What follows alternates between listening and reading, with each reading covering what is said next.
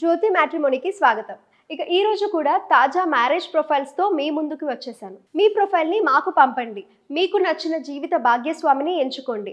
Divorce తీసుకొని ఒంటరిగా ఉంటున్న చిన్న వయసులో భర్త లేక భార్య మరణించి రెండో వివాహం కోసం చూస్తున్నా పెళ్ళి వయసు మించిపోతున్నా మీకు తగిలినట్టుగా మీకు నచ్చిన పర్ఫెక్ట్ మ్యాచ్ చూసే బాధ్యత మాది.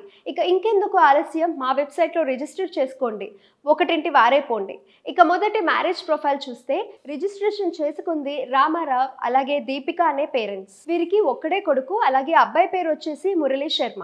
వీళ్ళది బ్రాహ్మిన్స్ క్యాస్ట్ అబ్బాయి బెంగళూరులో సాఫ్ట్వేర్ ఇంజనీర్గా పనిచేస్తూ పరాణం పది లక్షల ప్యాకేజ్తో ఉన్నాడు.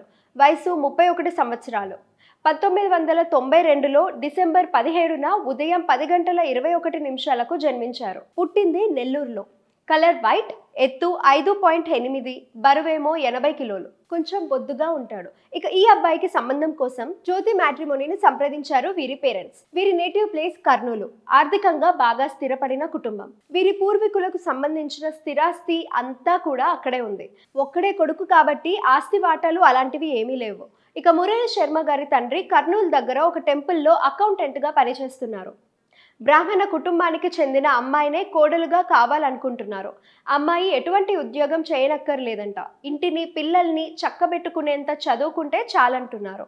ఇక కట్నం విషయంలో గీత గీసుకొని లేరు. కానీ జాతకాలు ఖచ్చితంగా కలిసి ట్రెడిషనల్ ఫ్యామిలీ అయిన అమ్మాయి అయితే చాలంట. జాతక పరంగా ఎటువంటి గ్రహదోషాలు ఉండకూడదు అనుకుంటున్నారు.